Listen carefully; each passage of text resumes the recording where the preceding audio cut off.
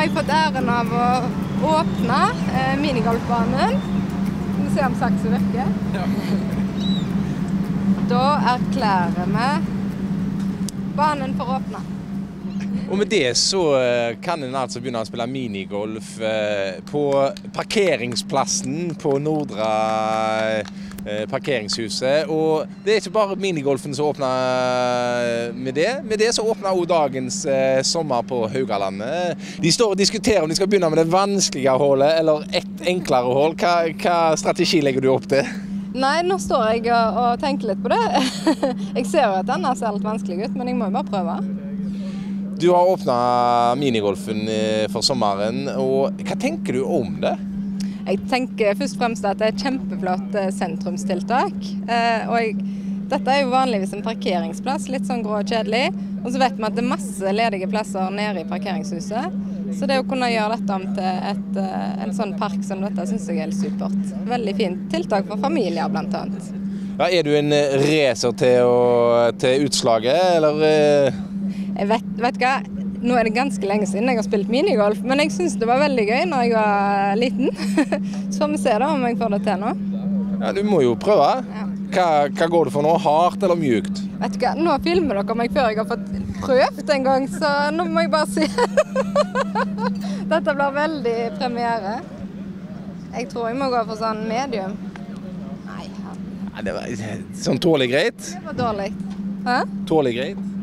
Om jeg tåler det greit? Var det tålelig greit? Nei, det var ikke tålelig greit. jeg må prøve en gang til.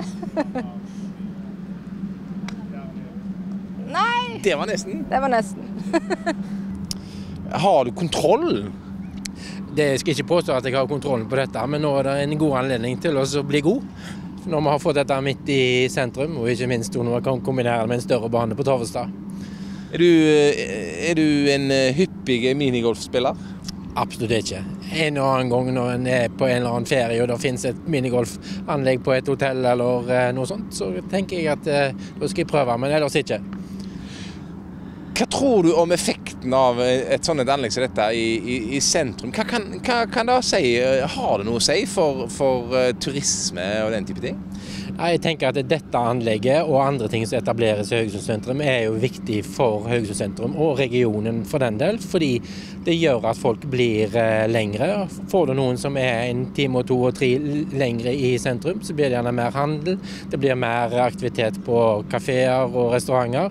Så det er, det er viktig. Og ikke minst, altså, har vi nok å by på, så blir det òg gjerne en overnatting. Og vi har veldig mye by på, bare så det er sagt. Så dette er jo et godt tilskudd. Hva strategi har du lagt nå? Eh, du liksom, går du for kurver, eller går du for strakeste vei? Ja, nå, Jeg burde jo kunne skru den rundt sånn her, tenker jeg. Eh, men eh, det er vel for viderekomne, så det, her blir det vel en to, tre, fire, fem, seks slag før jeg er i, i det hullet der, tenker jeg. Det er bare til å sette i gang og prøve. Nå ser du han legger den opp, og ja, det var kanskje Det var ikke så dårlig utslag, det. Nei, det er i hvert fall en begynnelse.